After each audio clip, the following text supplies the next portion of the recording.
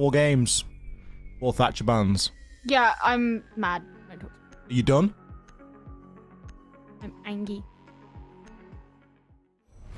Hey! Hey, that's more interesting. See, this is wild, right? And we need, we maybe need to touch on this. We're not. It's not that we want the new operator band.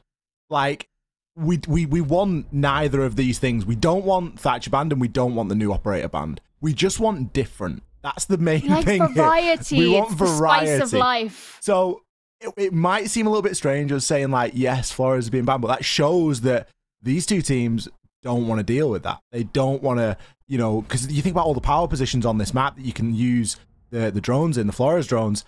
There are so many, so it kind of makes that bit a little bit more interesting. It also brings a different attacker available, so it means that we've got Maverick, Hibana, we've got everything else available here aside from obviously the Thatcher and the Flores. So it just frees things up a little bit. A mirror and a clash, it's it's kind of here and there. Um, you know, you would expect a mirror ban, a clash ban maybe is a little bit of a weird one. I think it's more of a target because Santos have been that team who are very happy to bring out Clash, uh, especially on defensive rounds where they kind of want to throw something into the mix. They're not too bad at Clash. The problem that they had with Clash last stage is that they would look really good on her, but then it would kind of get stale quickly and it would be read into. But you can see if if you are looking to take just a couple of rounds, if that's all the game is, then Santos bringing out a clash would potentially be able to switch the way the momentum is going, and I think FaZe Clan don't want to deal with that. Makes a lot of sense. They're a team that have, as you say, sort of crutched onto that, and it's. I think Cons has been one of the main players, but any one of them will pick the clash up on occasion. So, FaZe starting off here on the defense. Santos starting things off on the attack. Arguably the more difficult side here on Kafe, but with a kind of strange choice for the first pick, Geo. Reading room it's it's not sort of down there in in the dregs of the sites on this map because there aren't really any dregs. All the sites are good. Um, teams tending to favor favor either the bakery or that reading room. Oh, you hate to see it. Round one, set the precedent, set the tone. Destiny. It's going to be another three minutes. It's horrendous. It is funny though, a little bit. Um, yeah, what you were saying about reading not necessarily being the primary site. I think for a while, uh, in other regions, especially if we look somewhere like Europe, it did become that because R was being uh, read into a bit too much. Um, the same for some teams with Kitchen, but there were a lot of teams who did decide to go down to Kitchen for their primary. But then reading just became more and more popular. And actually, um, FaZe Clan did hover over going to bar at the start and uh, switched it right at the last second. And of course, they're already looking stronger because of that early pick, the spawn peek onto Destiny. And naturally, because you're not bringing something like an Ash as well, that's a lot of soft breach utility that's now been lost to the ether that you can't really replace. Santos can't afford to be fighting these rounds at a 4 versus 5, especially trying to get entrance and attack in to Kafe. You need as many eyes, as many drones as you've got to try and effectively clear out this top floor. Of which not a lot has been done just yet. Hunter's got himself into the top of red stairs. We've seen a bit of a trend of teams just pushing a little bit too flat. Cons, had no idea that Bullet was playing on the Pixel. That's a very strange place to not know someone's playing. Not just because you should have drone, but because it's Kafe Dostoyevsky. you know what I mean? Like, there's always someone playing there. And now they're trying to get rid of him. Finally, oh, I was going to say finally, a nade gets thrown in to try and remove the shield, but the ADS caught it. Hunter catches Bullet just because he decided to push on forwards, which was a bit unnecessary. But still, that was a, a real kerfuffle that I don't think was necessary. Bit of a kerfuffle, a lot of nades used in the process. It all sort of slows down this attacking push. STK, he's going to be getting himself in from the bottom of White Stairs, but he's got Cameraman with a shotgun at almost point blank range. Oh, Cameraman goes for the peek and he almost looked too deep. He will eventually redeem himself, shuts him down. Low health or not, he will be there to fight. Rise, he aggresses on through and kind of instantly gets himself shut down. Hunter, he has the defuser. He has intel. He's got 20 seconds. Can he find the first?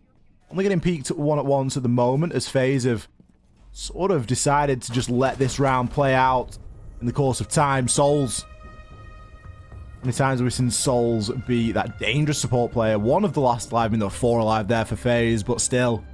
Round one going as expected. Yeah, um, that was not a great round for Santos, and I think they were definitely sort of thrown into a flurry when they lost Destiny so early. It was like a similar thing that we spoke about last week when there was a team that lost their Hibana basically immediately, and it was like, well, what are you going to do? Um, but when you lose someone that early, if that's going to throw you that much, hey, that's a, that's a really big flaw that you should probably patch up. But secondly, it just seemed a lot like Santos didn't entirely know what their approach was going to be. They tried to come in through the top floor. They did so very overzealously at first, and they lost a player for it. Then they kind of panic and try and take Bullet down. And sure, Bullet ended up walking forwards and straight into the gunfire, which was a, not the best decision, in my opinion. And then they choose, actually, no, we don't want to be up here. We want to go downstairs. And part of that may have been because if they had made it over to Cocktail and if they'd opened up the floor and if they'd been able to push down White Stairs, because they were so lacking in manpower by that point already, that would have been quite hard. So maybe they saw it as a kind of making up for their losses and they were going to go downstairs and try and push laterally that way. But the point is, it was just like a, a new decision was being made every few tens of seconds. Astro not quite getting the spawn peek this time, but he certainly wasn't far off. It's always something that's going to be in the back of the players' minds for Santos, though, now is that that threat of the spawn peek. Is it coming this round? Is it coming next? You know, where do you really stand with it? It's a horrible position to be in, and it can it can add, you know, five, ten seconds onto your getting up into the map or getting onto the rappel. There's so much time of this map as an attacker is spent getting to this roof and it isn't something that you can do for free. And on the way there, there's very little that you can do. You can check the windows, you can destroy a default camera, but ultimately, you are spending a lot of your time on Kafe just getting into a position to essentially start. That's the position that we do find Santos in now as they can start to get this drone work underway. Yeah, Kafe's an interesting one. Oh, nice kill. Okay, goodbye cons, and Destiny's going to be joining him in the grave too. So Santos, once again, significantly weakened, haven't even made it into the map yet. Uh, what I was going to say is is an interesting one because other than the roof hatches, if you want to go into one of the upstairs floors, there, there isn't actually another way to do it. I mean, I suppose you can walk straight in next to reading room, but as for the very top floor, there's not another way to do it. You think of something like consulate, you can go in through the balcony. Something like clubhouse, that also has balconies on the top floor.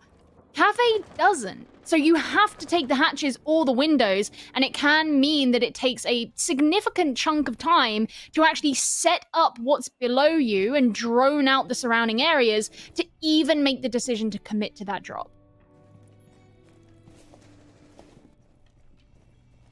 Well, Cyber is going to get himself dropped back into sight. Bullet getting a bit overzealous on the window. This time will be punished by Rise, that consistent flank watch for Santos. We always see him on the Nomad. Ensure that those flanks are safe or as safe as they can be. 45 seconds to really make something happen. A fluffed nade there by Hunter. You're just going to have to face check away. Two nades still in the hands of STK to try and make something happen with. But with the hatch being watched, Going to make it semi-difficult for anybody to push in that direction. STK, have they got any information at all? He's just lobbed a nade up red stairs. There's still shields in the site that need dealing with. Souls is just going to pop up from behind one of them. STK, I bet you wish you had the nade. Now he eats a nearly oh. entire C4. He's left on one health. Astro, line him up and he will knock them down. Gets himself a couple of easy kills there. Just pushing in through from Bakery. FaZe not really looking too pushed there. We're two rounds in, and Santos do look a bit lost, don't they? It was the incredulity in your voice when you said, he just lobbed an aid up, up the red stairs there. And I was thinking the same thing as you. We're staring directly at a shield. Yep. That is in the line of sight of an open doorway. You have players who are looking that way. There is someone behind it. Hmm, I wonder how to clear out that person behind the shield. Maybe getting rid of the shield will help. Do we have any utility to get rid of the shield? Ooh, what about nades? You know, I, I, I understand. I'm being very arsy about it, but I understand that uh, maybe they had some information or something. Something made them feel like their best bet was to throw a projectile up the stairs. Maybe it was fear. In my opinion, what would have been better is, is use the nade for its intended purpose. And if you think someone's flanking you, put someone on red stairs. I think Rise was still alive at that point. It'd be around to go back. And, like, don't get us wrong. You know, we know that Siege is, even at the highest level, isn't played entirely perfectly. And we will speculate on things for a long period of time when, in reality, all that happened was a nade got thrown. But these are the small things that add up to bigger things. So it's always nice to go back in that situation and go like, did Rise have any Airjabs left? You know, who was where? Was there actually somebody playing upstairs? And we can do that sort of stuff with, with obviously the match replay tool and go through and see.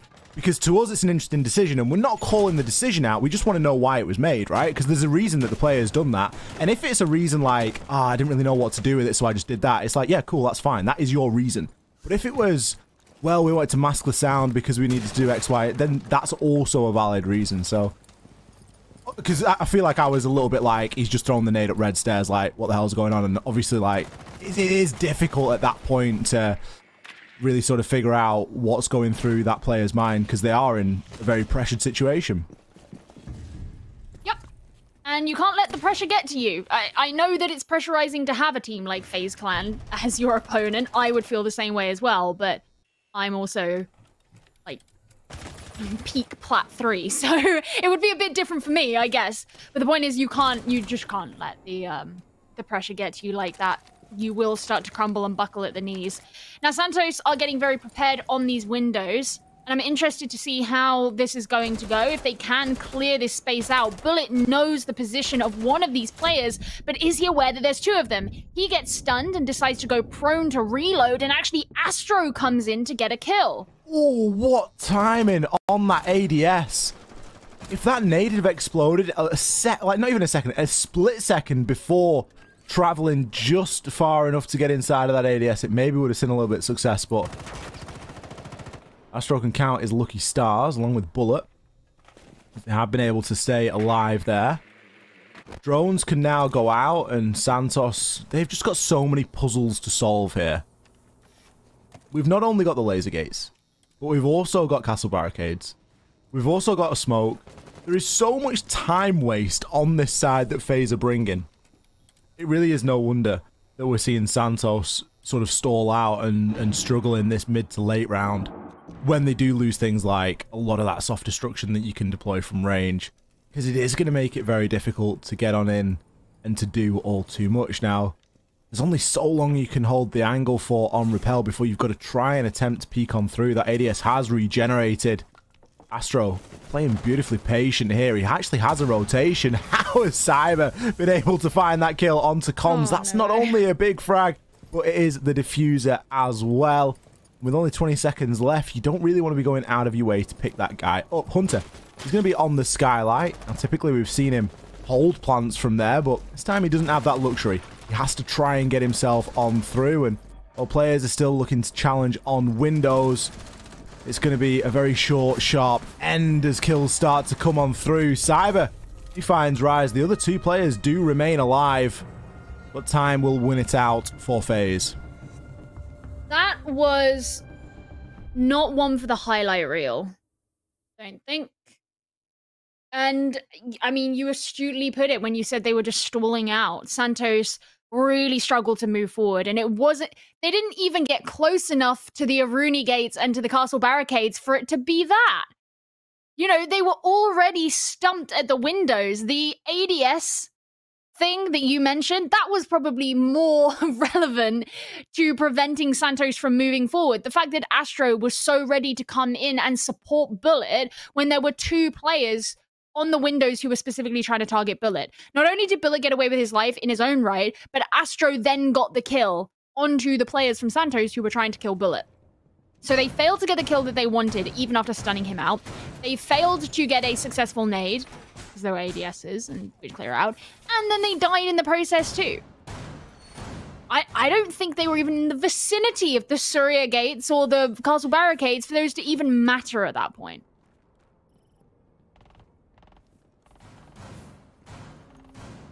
Well, it could be a short NGO, depending on how this game plays out. Santos are going to have to. I, I want to use the words do something.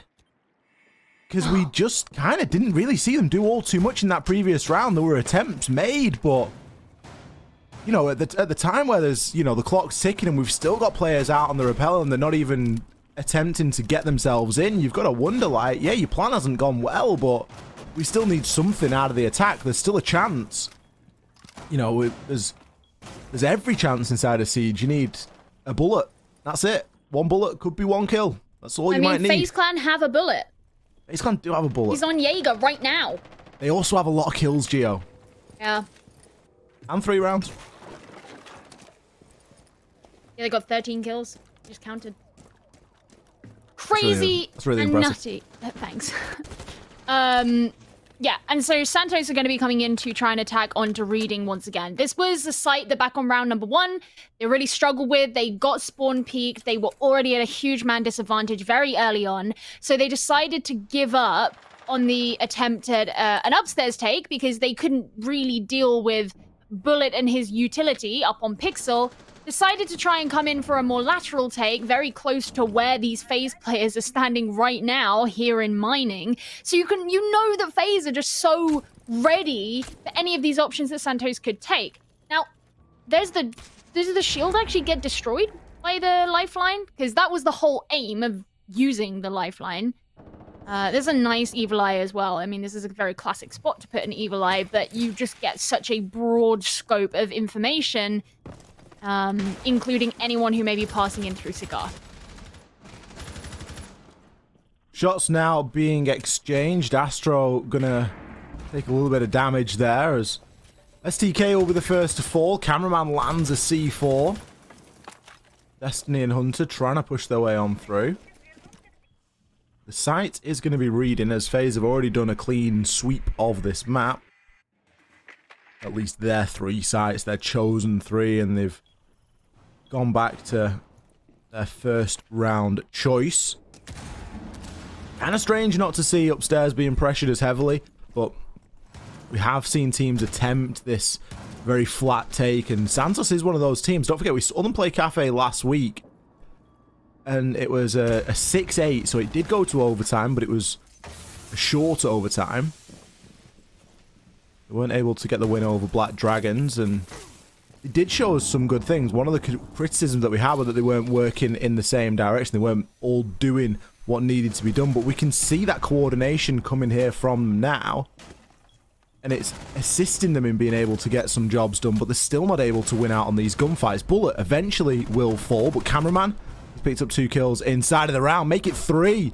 Finds another in Rise. Able now to make the rotation. Con's the last live. Cyber picking up the pieces.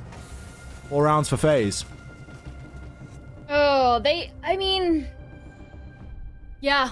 Uh, it's a very strange game. Probably a very strange game for FaZe as well, because they don't really have to show that much. It's not like they've got to go out of their way to give away strategies or anything like that. Um, and it's very interesting to me thinking back to the pregame when we were talking about how Santos felt like they had given FaZe a lot more leniency in the map veto back in stage one when they ended up playing on Villa. It was a 7 2 victory to FaZe Clan. Now, Santos evidently came into this game wanting to be a bit tougher on the map veto. We've also already seen Santos play on Kafe Dostoyevsky in this stage. So we know that it's a map that they feel comfortable playing on, that they've worked on, and that they would like to play. And yet it seems to be going pretty awfully for them right now. That's certainly one way of putting it. Santos are struggling in that coordination department, struggling in that kills department. Really just coming up against uh, a FaZe that, let's be honest, they're not playing aggressively. We see FaZe and we sometimes question that play style, and I think it was something that I said last week was that FaZe is sometimes that remaining team inside of the R6 that have that old Latam flair, that raw aggression, where it's very untempered when it's on. And they can turn it on, they can turn it off, and in this game it seems like they've turned it off, which is interesting because it's a game that's going very well for them. But we see them just go and be wild some days, and it works, and some days it doesn't. And they, they're still developing that sort of strategical side of things, whereas today uh, they're just playing good siege and they're coming up against a little bit of aggression here and now. Astro he's going to be ready for it. In fact he's ready for two. He's able to take both destiny and cons out of the picture. Two players are going to be down. STK finishes off souls. Essentially three versus three now as rise has been revived and finds himself a nice frag. Site control now firmly in the hands of santos and They've really just said, you know what, we don't want to go down without a fight. We're going to attempt a bit of a rush and see if it pays off. So far, they have the plant down, but they are in a man deficit. Bullet has still not been able to push his way back on into sight. It's a full retake here four FaZe. 1c4 in the hands of Cyber to try and make the job a little bit easier as he makes his way through prep. Astro, he's found three kills inside of this round. Cyber picks up the last. Plenty of time to disable that kit. Even a rush was not enough. You know, when Astro got those two kills and I said, what was that? It was because I was so taken aback by it. You know, I did not expect uh, Santos to just decide to walk straight into the site. In fact, one of the things that I was thinking of bringing up was the fact that because FaZe Clan had opted to go for a bandit, that was going to put a lot of pressure on Santos because it would have required them to play vertically to remove the bandit batteries. And FaZe Clan likely would have set up players upstairs to ensure that Santos couldn't even get in those positions in the first place. But that isn't what happened. Santos decided to just walk straight into the site, something that took me really aback. it afforded them two deaths very early. And yeah, it was actually great that they managed to get the plant down. But of course, Huge man disadvantage at that point. FaZe Clan was suspiciously nowhere to be found when STK walked into the site, which meant that they would have been in the surrounding area and ready to collapse in as soon as the plan went in.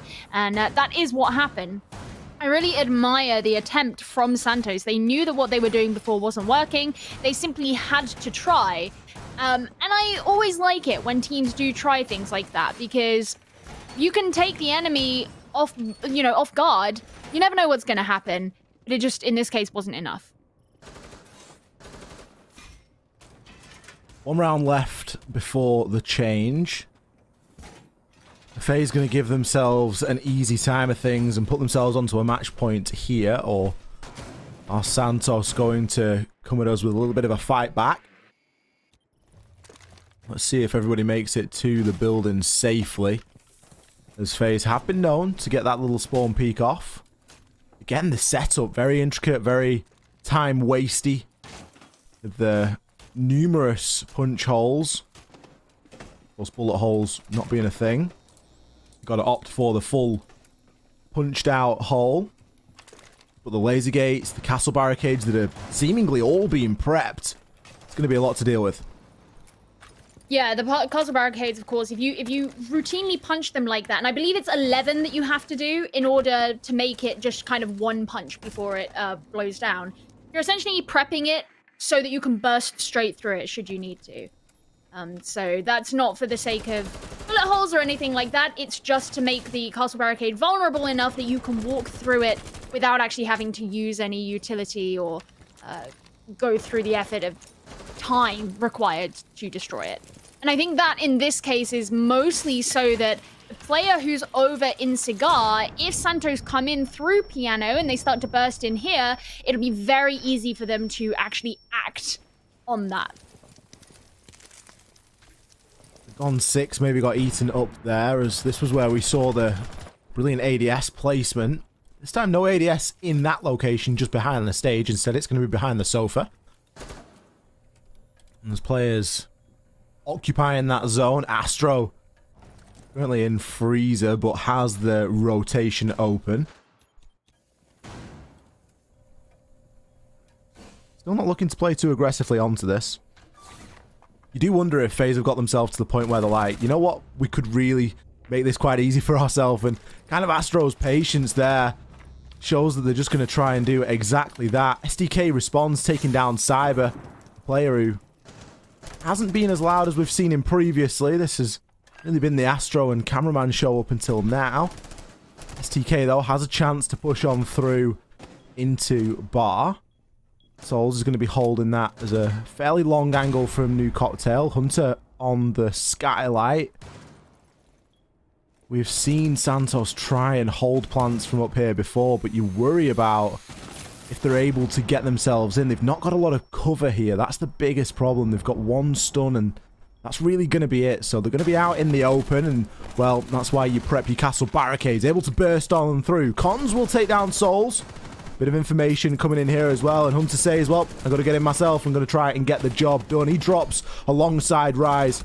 Cameraman, he's going to get himself downed as he looks to try and hop over quite aggressively. These kills really going in Santos's favor. Astro comes in and he tries his best, but it is not going to be. Santos, they finally pick a round up here.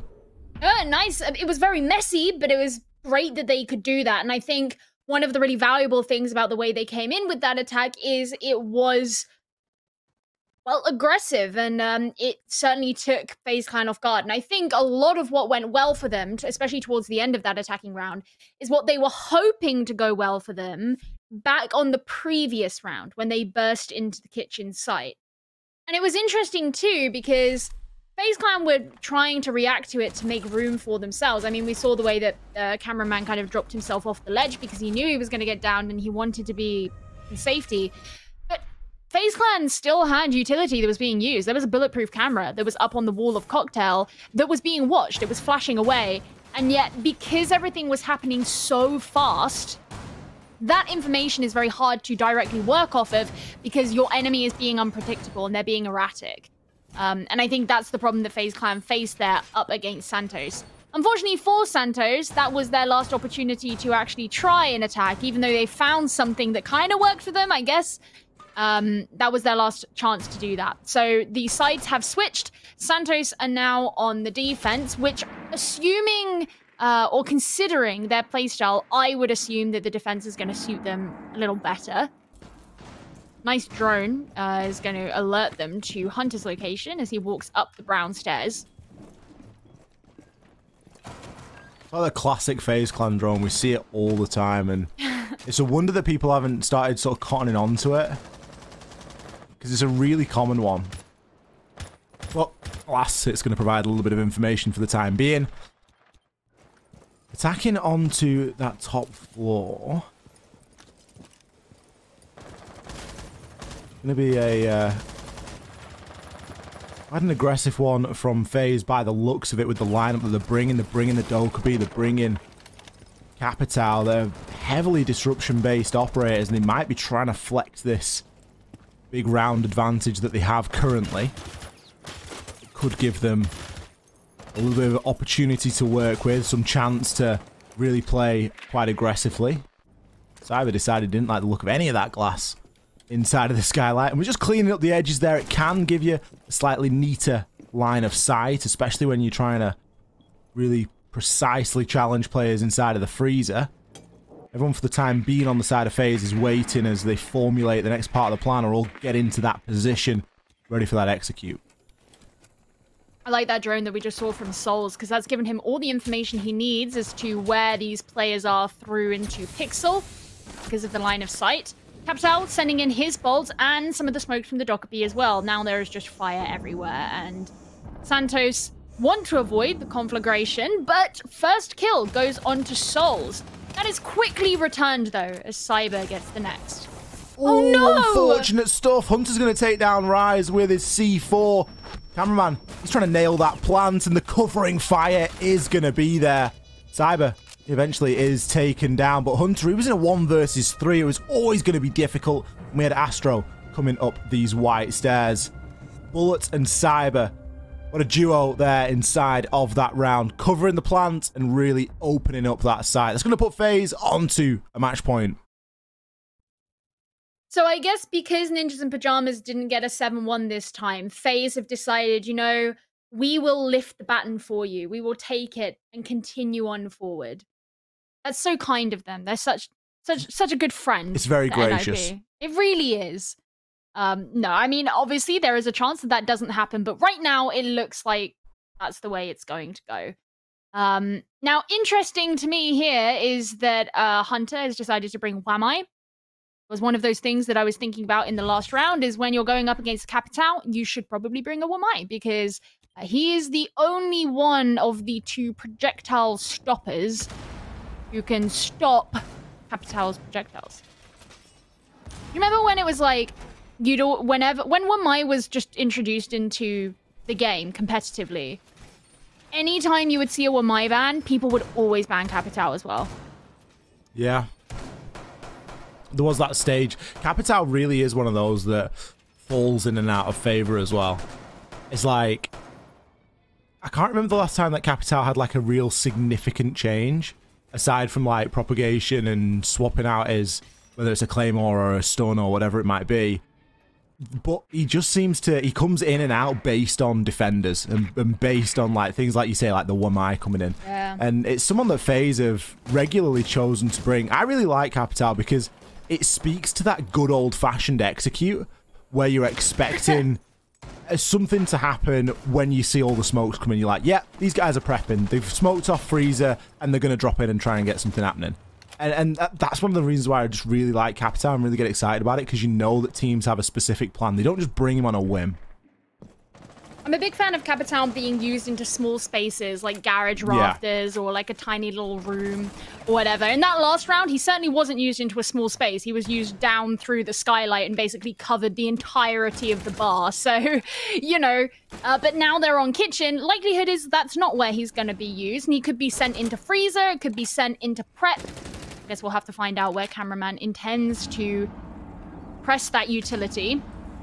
Hunter and STK are holding on very firm in bakery for now, though. Souls with the Kali. I didn't even notice that a Kali had been brought. Could be either a big impact or not so much as kills all they start to go in FaZe's favor. Can they lose a gunfight? We're not going to find the answer to that. The answer is going to be no. Cameraman, he's the one to find the final frag. They had gathered their information. There was no execute required. FaZe, they're going to take this map 7-1 here against Santos. That was a really humiliating loss. There isn't really a better way that I can put that, and it sounds cruel, but that's what it was. You know, Santos didn't even do terribly last week. They looked like they were putting something of a fight against their opponents, but this is the first time that Santos have faced against one of those top four teams